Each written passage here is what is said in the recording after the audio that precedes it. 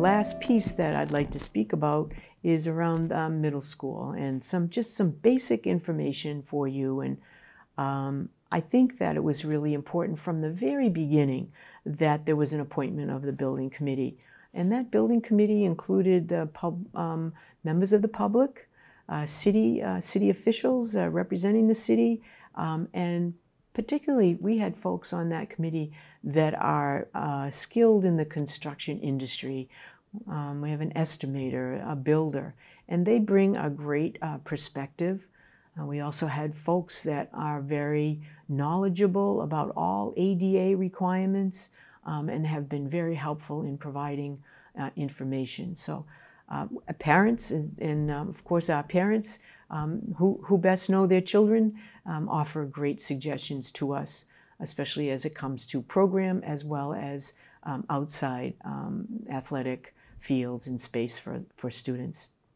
We held uh, working groups. We had um, several working groups, including a program working group looking at the programs that would be in the building, sustainability, addressing all of the ways in which we can um, be a sustainable school, including geothermal and all of the solar panels, uh, and, and ways that um, we've talked about com uh, composting and other, um, other sustainability uh, programs that we could um, provide at that level.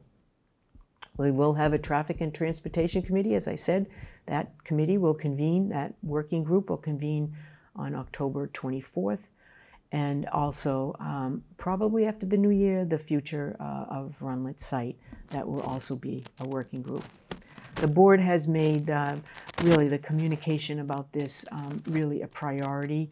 And so I, I want to remind you that the district has on their website um, incredible amount of material. Actually, there's 175 documents. I know that's a lot. Um, that will um, provide information. Included on that, on that site are forums and videos and hearings, presentations that have all been done uh, since uh, this project has really taken on, since really around 2020, right after the 2020-21 when, uh, after we got through the pandemic.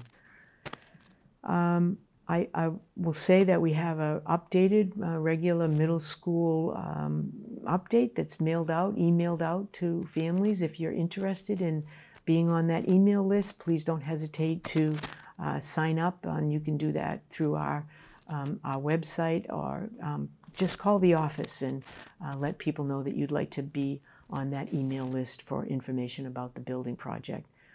And I, I, I say this, um, we have a, a wonderful staff, always willing to answer questions. So I encourage you, if you have questions um, and you want to talk to somebody, don't hesitate to call our office. Uh, you can talk to the business manager, our facilities person, myself, uh, anybody that um, is available will help to answer questions. And if we don't have answers, we'll get them for you.